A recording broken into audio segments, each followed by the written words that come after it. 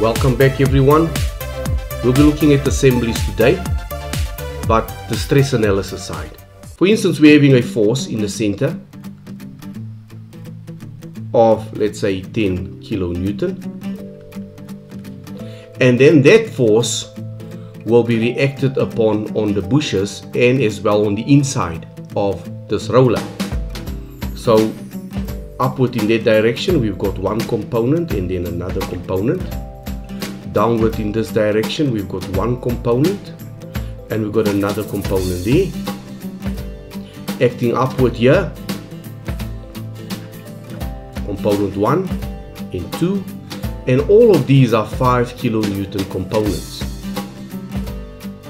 Right because the shaft is press fitted in the bracket you'll have component 1 and component 2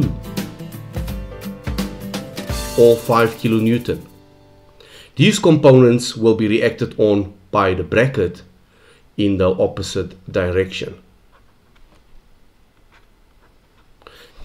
there we go there's all the 5 kilonewtons. And this is how we determine a free body diagram for an assembly.